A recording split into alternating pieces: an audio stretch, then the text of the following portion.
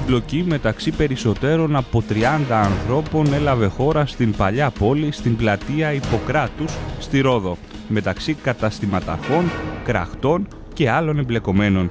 Η κατάσταση, σύμφωνα με αυτόπτης μάρτυρες, ξεπέρασε κάθε προηγούμενο, αφού για πρώτη ίσως φορά ο ξυλοδαρμός, οι απειλές και η αγριότητα του καυγά ήταν κάτι πρωτόγνωρο ότι θα πάρει την κατάσταση στα χέρια του, προειδοποιεί ο πρόεδρος των εστιατόρων Ρόδου, Γιάννης Κλούβας. Τα φαινόμενα αυτά της παλιάς πόλης δεν ε, τιμούν κανέναν. Η ανικανότητα στο μεγαλείο της, ε, να μην ακούω ότι δεν μπορούμε να τα φέρουμε βόλτα γιατί συμπεριφέρονται έτσι, συμπεριφέρονται αλλιώς. Έχω την εντύπωση ότι η Δημοτική Αρχή έχει το καρπούζι, έχει και το μαχαίρι. Μπορεί ανά πάσα στιγμή να βάλει τάξη αν θέλει είτε με τη δημοτική αστυνομία είτε με την ίδια την αστυνομία.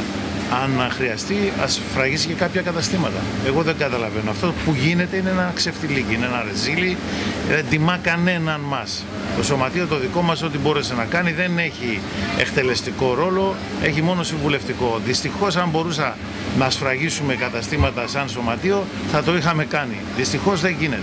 Θα θυμίσω όμως τους φίλους τηλεθεατές που μας βλέπουν ότι η παρουσία του γραμματέα μας, του κυρίου Σταύρου Ζουρούδη και του, και του κυρίου Παναγιώτη Κουνάκη πήγαμε, πήγα στον εισαγγελέα και μάλιστα είπα, ήταν ε, γυναίκα ο εισαγγελέας και είπα ότι ε, θα αναγκαστούμε να χειροδικήσουμε πράγμα που δεν θέλουμε για ανθρώπους οι οποίοι συμπεριφέρονται άσχημα στον τουρισμό. Δηλαδή όχι σαν επιχειρηματίες πια, αλλά πρέπει να αγανακτήσουμε σαν ροδίτες. Δεν ανέχομαι κύριοι ξενόφερτη και κάθε καρδιάς καρύδι μαζευμένη στην παλιά πόλη να δυσφημείτε και να βιοπραγείτε ε, στο νησί μου και στο νησί μας. Ήρθατε εδώ να φάτε ένα ψωμί, φάτε το με σεβασμό, πάρτε το με σεβασμό, αλλά όχι αυτά τα πράγματα. Όποια καρδιάς καρύδι να κάνει τον, τον κράχτη και μάλιστα επειδή δεν τον ενδιαφέρει το αύριο να βιοπραγεί είτε να παίζουν ξύλο μπροστά στον κόσμο και να ξεφτυλίζετε το νησί.